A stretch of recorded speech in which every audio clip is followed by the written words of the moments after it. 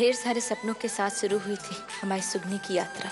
नाचने वालियों के घर में जन्मे फिर भी इज़्ज़त की मान की और सबसे बड़ी बात एक सुहागन की ज़िंदगी जीने का सपना देखा था हमारी मोड़ी हम जिससे शादी करेंगे वो तो रायपुर या ग्वालियर से आएगा। बढ़िया सजीला समझदार। ठाकुर विक्रम सिंह वो उसके जीवन में आए। प्यार करने लगे तुमसे? बहुत प्यार किया उन्होंने हमारी मोड़ी को पर साथ ही में बहुत बड़ा धोखा भी दिया। हम ठाकुर साहिब की पत्नी। इसलिए जो सच्चाई जानने के बाद अपने ही शादी के मंडप से उठ गए आदित्य ठाकुर मालक ने हमारी मोड़ी का साथ दिया। और ये रिश्ता आदित्य ठाकुर मालक के लिए प्यार का रिश्ता कब बन गया जी वो खुद भी ना जान पाए। आज हमारी मोड़ी ज़िंदगी के दो राहें पर खड़ी। क्या होने वाला है हमारी मोड़ी की ज़िंदगी में? और किस परीक्षा से गुजरना होगा? माँ साहिब हमारी बात का यकीन कीजिए। हम आपको सब कुछ सच सच बता देना चाहते थे। जिस दिन पहली बार आपसे मिले, उसी दिन बताना चाहते थे, लेकिन लेकिन हालात ऐसे थे कि हम आपको बता नहीं पाए। हमारी बात का यकीन कीजिए, आपको झूठ बोलना या धोखा देना हमारा इरादा कभी नहीं था। हम तो सिर्फ़ विक्रम ठाकुर और रीवा ठाकुर की शादी बचाने के लिए ये सब कर थे। माँ साहब हमारी बात का यकीन कीजिए। सुगनी ठीक करिए नानी जी। इस सब की शुरुआत सिर्फ़ मामा जी की शादी बचाने के इरादे से हुई थी। हमारा मकसद किसी को धोखा देना या किसी के साथ खेल खेलना नहीं था। सिर्फ़ इस टूटते हुए परिवार को बचाना था। आज भी जो कुछ भी हुआ, सोची समझी बात नहीं थी। अचानक से हालात ऐसे हो गए नानी जी कि हमें ना चाहते हुए भी इस बंधन में बंधना पड़ा।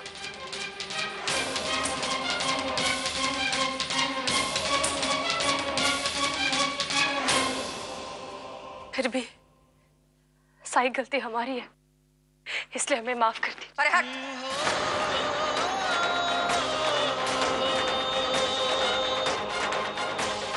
हमें छूने की कोशिश भी मत करना। अपवित्र हो जाएँगे हम।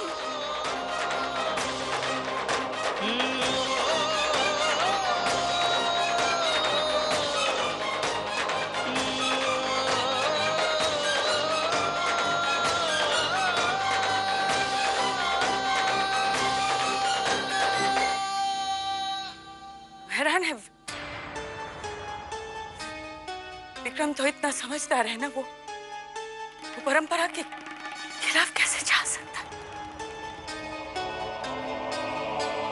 एक नाचने वाली से रिश्ता जोड़ने जा रहा था।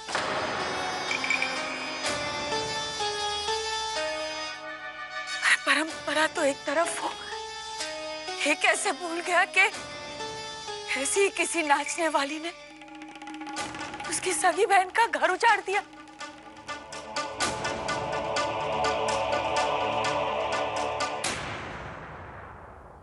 ये आदित्य। जो शहर में पढ़ा लिखा, जिसे नाचने वाली शब्द तक से नफरत, तू कैसे भूल गया? कि एक नाचने वाली ने तेरे सर पे से पिता का हाथ हटा लिया था।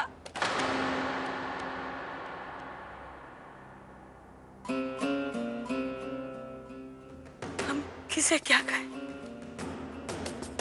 हम भी तो इसकी मीठी मीठी बातों में फंस गए थे।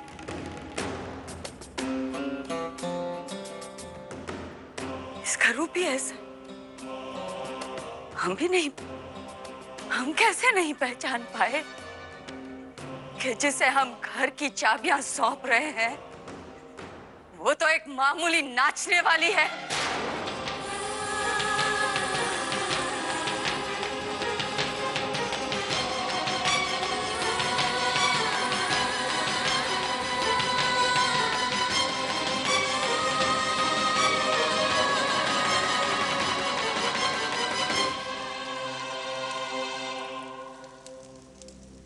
आप सबसे माफ़ी चाहता हूँ। यहाँ पर जो कुछ भी हुआ उसके लिए। लेकिन यह हमारे घर का मामला है। बेहतर यही होगा कि आप लोग अपने अपने घर चले जाएँ। कोई कहीं नहीं जाएगा।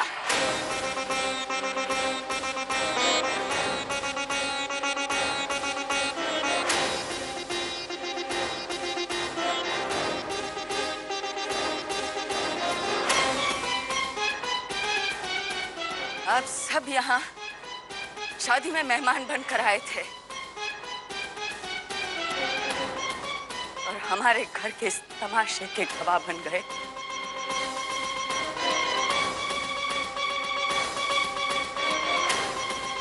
आज से पहले कभी हमारी शान और हमारे मान को इस तरह उछाला नहीं गया है। अब आप सब हमारा फैसला भी सुनते जाइए। हम इस हवेली की बड़ी ठकुरायन और इस परिवार की मुखिया होने के नाते हम इस विवाह और इसे अपनी बहू के रूप में स्वीकार करने से इनकार करते हैं।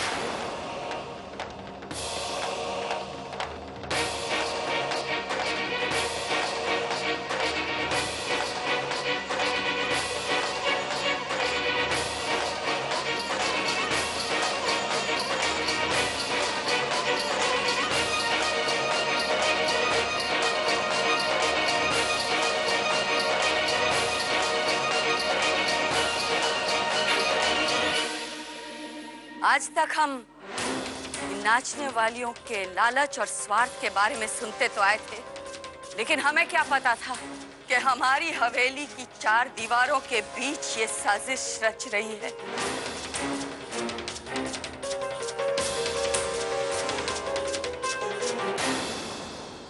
नफरत है हमें इस कौम से। इसे अपनाने का तो सवाल ही नहीं उठता।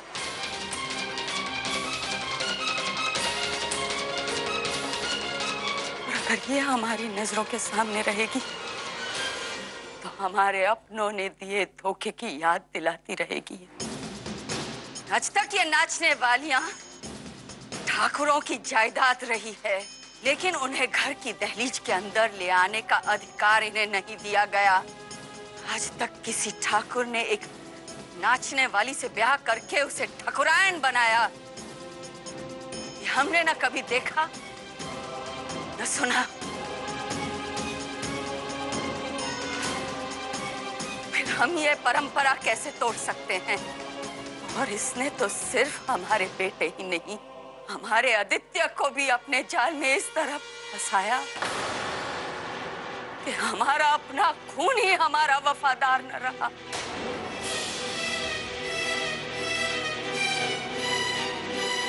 हम ठाकुरों में उत्तरण के कपड़ों से शादी का जोड़ा नहीं बनाया जाता। और जिसकी खुद की ही कोई इज़्ज़त ही नहीं, वो इस परिवार की बहू कहलाने का सम्मान नहीं पा सकती।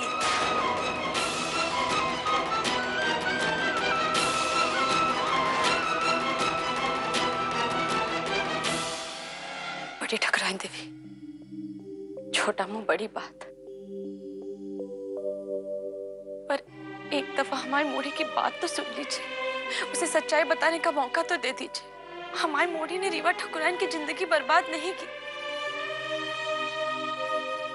बल्कि सुगनी ने और आदित्य ठाकुर मालक ने मिलकर बहुत कोशिश की, बहुत बलिदान दिए कि इनकी शादी बच जाए। विक्रम ठाकुर मालक ने सही गलत हर तरीका अपनाया हमारी मोड़ी को पाने के लिए। लेकिन आज विक्रम ठाकुर मालक एकदम पलट गए और सारा इल्ज़ाम हम बहुत बोल ली तुम।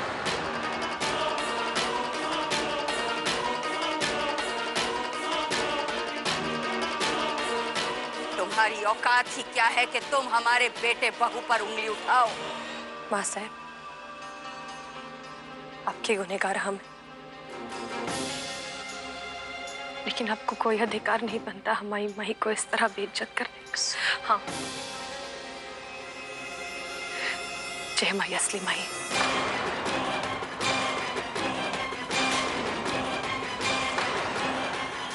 और इसे कहते हैं त्याग। जो आज तक हमारी वजह से हमारी दासी बन के रही वो। अच्छा खेल खेला है तुमने हमारे साथ। जब से हमने इस हवेली में वापस कदम रखा झूठ पर झूठ लेकिन गैरों से क्या नाराज़गी? जब हमारे अपनों ने ही हमें इस तरह धोखा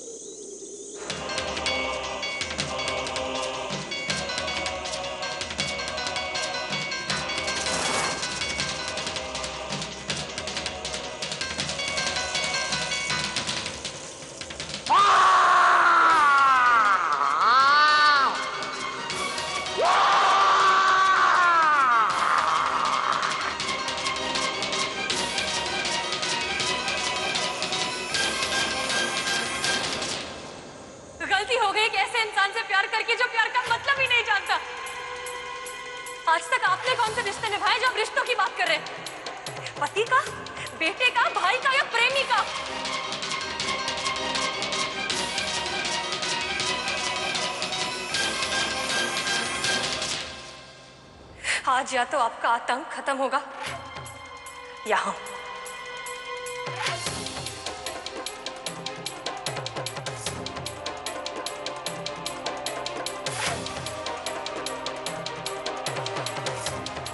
अब मारिए जिसे मारना है। काहे कि हम अपने रिश्ते की पवित्रता साबित कर चुके और अपने सुहाग की रक्षा कर सकते हैं।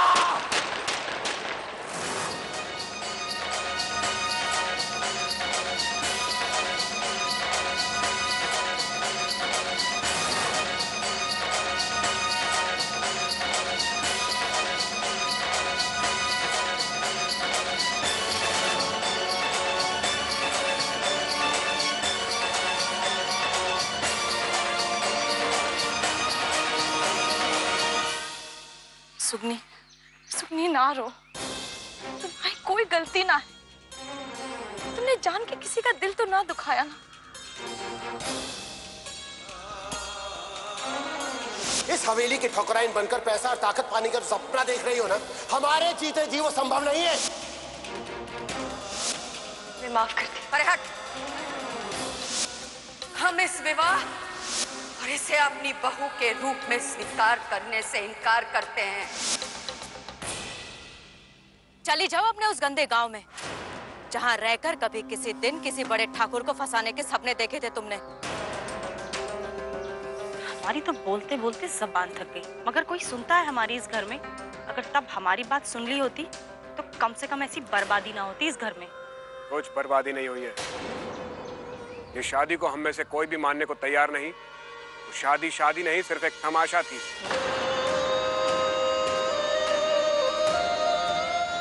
आदित्य का इस मोड़ी के साथ कोई रिश्ता नहीं है। रही बात विक्रम की उसे हम समझा देंगे। ऐसे बहुत सारे शौक चढ़ते उतरते रहते हैं ठाकुरों में। आपका बहुत बड़ा उपकार होगा हम पे भाई साहब। जो आप हमारे साहिब का इस डायन से पीछा छुड़ा दें। आप साहिब को किसी तरह से समझा बुझा कर हवेली वापस ले आइए बस। अब तुम क्यों परेशान हो रही हो रीवा? वैसे भी इस नाचने वाली की क्या औकात? जो हवेली की बहू का सुहाग छीन गई।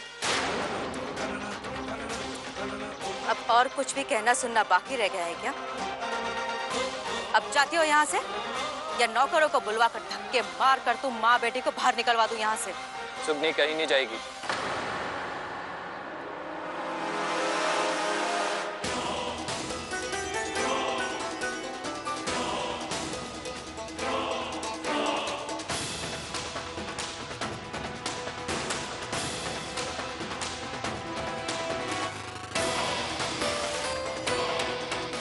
आप बहुत बेजती कर चुकी हैं, माँ। अब और बेजती मत कीजिए सुखने की। बस कीजिए।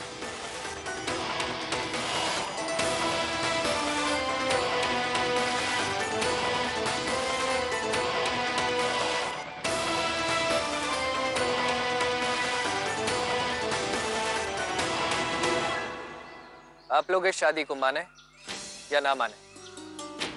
मगर मैंने और सुगनी ने पूरे रीति रिवाज के साथ साथ फेरे लिए। और पति होने के नाते, सुगनी के मान सम्मान की रक्षा करना मेरा धर्म है। और आप लोग, सुगनी का अपमान करके मेरी नज़रों में अपना सम्मान गवा रहे हैं।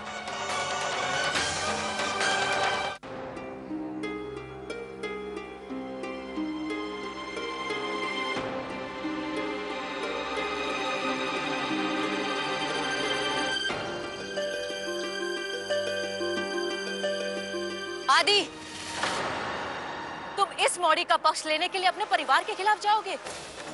मैं किसी के भी खिलाफ नहीं जा रहा हूँ, माँ। मैं अपने परिवार की पूरी इज़्ज़त करता हूँ। लेकिन अब उतनी इज़्ज़त अपनी पत्नी की भी करता हूँ। और आप लोगों से भी यही उम्मीद करता हूँ। सुगनी अब मेरी पत्नी है। और इस नाते अब इस हवेली की बहू भी।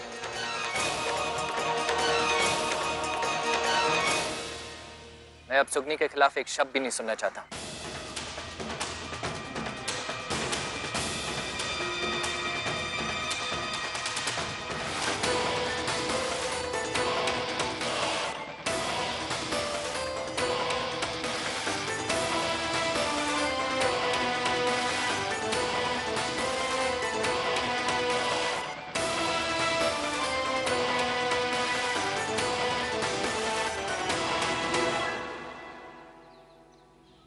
सुगनी शादी के बाद बहू घर से बाहर नहीं जाती। उसका गृह प्रवेश होता है। तुम कहीं नहीं जाओगी। जहाँ कोई हमें बहू मानता ही नहीं वहाँ कैसा गृह प्रवेश? तो हर कोई हमसे नफरत करता है। औरत को पत्नी का दर्जा उसके पति से मिलता है। और ये अधिकार मैंने तुम्हें दिया है। सात फेरे लेकर। तुमने सात वचन लिए सुगनी चाहे जो भी हो जाए, हर सुख, हर दुख में तुम मेरा साथ दोगी। सुगनी आदित्य ठाकुर मालक ठीक कह रहे मोड़ी बहुत कछू हुआ है तुम्हारे साथ। पर अब बीती बातों को भूल जाओ। सच तो यही है कि तुम इनकी ब्याहता पत्नी हो। अब दुख में, सुख में दोनों को एक दूसरे का साथ तो देना ही होगा। तुम्हारी मान की रक्षा करना आदित्य ठाकुर मालक का फ़र्ज़ है और हम जानते हैं कि ये फ़र्ज़ ज़रूर निभाएँगे। ठाकुर मालक हम ज़िंदगी भर आपके कर्जदार रहे। आपने अपने परिवार के खिलाफ जाकर हमारी मोड़ी का साथ दिया। बस इसी तरह से ज़िंदगी भर इसका साथ दीजिए। आप निश्चिंत रहिए। हमें आप पर पूरा विश्वास है। तभी तो हमारे जीवन भर की पूंजी आपको सौंप कर जा रहे हैं। काहे तुम कितने जा रही हो? हमारे साथ नहीं रहोगी? ना मोड़े तुम्हारी ज़िंदगी की एक नई शुरुआत है ठाकुर मालक के साथ। कभी पीछे मुड़कर ना देखना।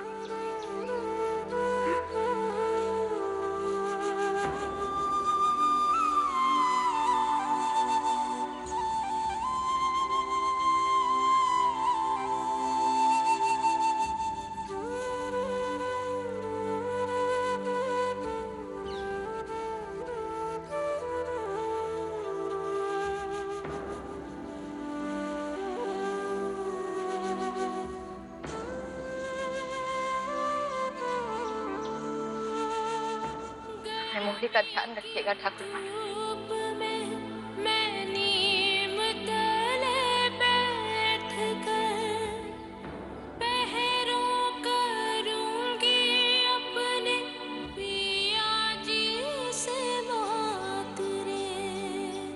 किस्मत भी देगी शहर से आएगा देख लेना।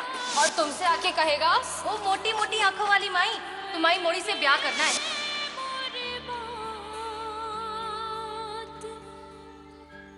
हम ऐसी जगह जाना चाहते हैं जहाँ सुबह भी होती है। सिर्फ़ एक बार हिम्मत करके देखे तो क्या पता उड़ने के लिए बोतलें नहीं, पूरा आसमान मिल जाए।